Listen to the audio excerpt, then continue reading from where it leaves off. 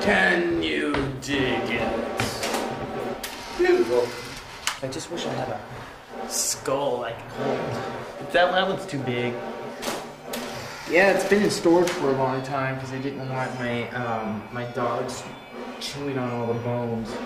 I know some of them are cat skulls, some of them are dog skulls, some of them are like squirrel, and this is a cat skull right here. And this is probably a dog dog skull right here. How's about this if I just raise it, raise it and pull it in my my beard guide? One, two.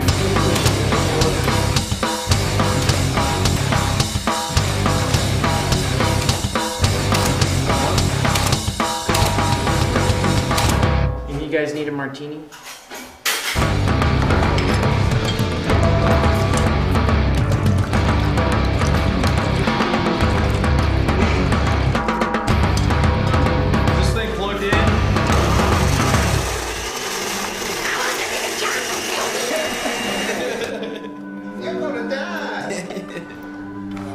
It's just a fucking Tupperware bowl.